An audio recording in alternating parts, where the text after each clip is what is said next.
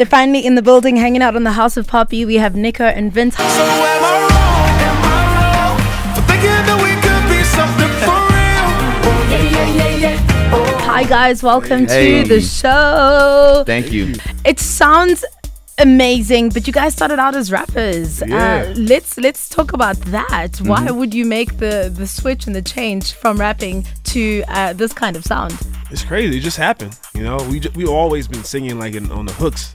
You know, that's how we started off, sort of singing. We always sung the hooks because we couldn't get. You know, we always made like a dope hook. And we're like, yo, what'd be dope if we had like R. Kelly or Chris Brown on it. Sure. Obviously, living in Norway, we couldn't get those type of names, so that's how we got into it. And all of a sudden, we just stopped rapping as much and just started singing more and playing with the melody. And are you happy with the switch? yeah, yeah, yeah, definitely. Fantastic. So, what does the the rest of the uh, the week look like for you? What are you going to be doing? We're gonna go through some cities, and then we're gonna go. We're actually going to Cape Town as well. Yay! Uh, we're gonna attend the Mandela Day, nice. so we're gonna be there for that to see the concert and just be around.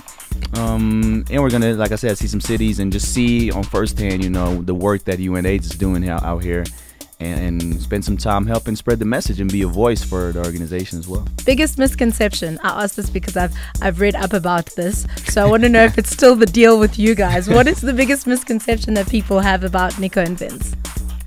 That I mean, we're white, probably. it- Yeah, yeah, that's what I read. Yeah, Yeah. sure. you know, coming from Norway, you know, a lot of people think we're white if they haven't seen us. Yeah. That's crazy. Well, thank you so much for putting into the House of Poppy. We're gonna have to let you go, but we will be hanging out. Uh, any peeps that you want to work with in the future in terms of your albums or collabs? Um, who have you got lined up? Have you Ownership thought of people. it? You know, even so, I like it. You know, we just did a song, or we just went in the studio uh, with Pharrell uh, not long too long ago. So just, you know, we just super into working with other artists. Sure. Even now that we're in, in South Africa too, we're just super open. So if anybody out there knows, Yeah, you know, reach out. Should, yeah, reach out to us. We're here. We super down.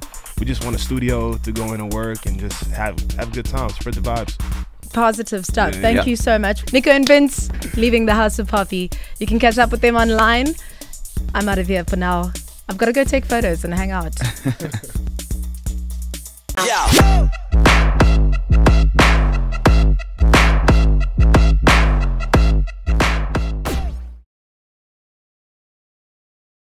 5 FM.